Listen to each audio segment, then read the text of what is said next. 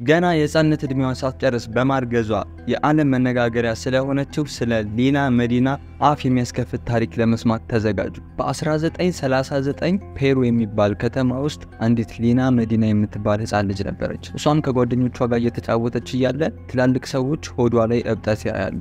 ያንንም ያዩትን ሄደው ለቤተሰቦቿ ይነግሯቸዋል። ቤተሰቦቿን ሆዷን ሲያዩ ይሄ ነገር እጢ እንዳይሆን ብለው በመፍራት ወዲያውኑ ወደ ሐኪም ቤት ይወስዷታል። ዶክተሮቹ ሲያክሟት ሆዷ ላይ የነበረው እብጠት እጢ ሳይሆን እርግዝና እንደሆነ ያያሉ። ወዲያው በመደንገጥ ቤተሰቦቿ ጋር ይሄዱና የሊና ዕድሜ ስንት እንደሆነ ሲጠይቋቸው ሊና ገና የአምስት ዓመት ሕፃን ነበረች። አምስት ዓመት ማለት በጣም ሕፃን ልጅ ናት። social media ላይ እንደዚህ ስታዩት normal ሊመስላችሁ ይችላል እንጂ በአካባቢያችሁ የምታውቋት የአምስት ዓመት ሕፃን ልጅ አርግዛ ቢሆን ብላችሁ ብታስቡት በጣም ከባድ ነው። የዚች ሕፃን ልጅ እርግዝና እንዲከሰት ምክንያት የነበረው precocious puberty የሚባል የጉርምስና ዕድሜን ባልተለመደ መልኩ አስቀድመው የሚያስከስት የተፈጥሮ ክስተት ነው። ሊና የመጀመሪያ period ዷን ወይም የወር አበባዋን ያየችው ገና የስምንት ወር ሕፃን ልጅ እያለች ነበረ።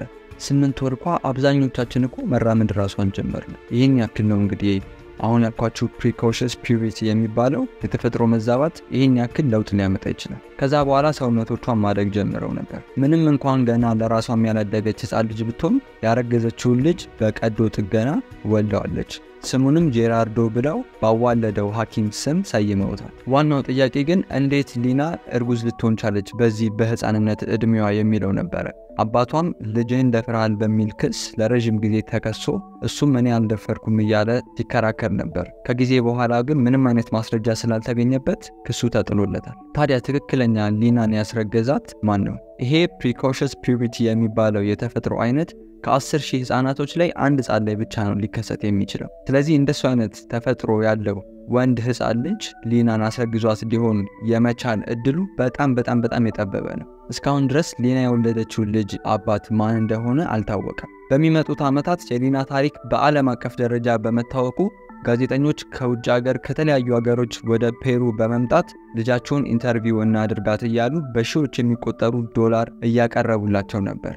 በጊዜው በሺዎች የሚቆጠሩ ዶላር ማለት እጅግ በጣም ብዙ ብር ነበረ። ቤተሰቦቿም ገንዘብ ያስፈልጋቸው ነበር።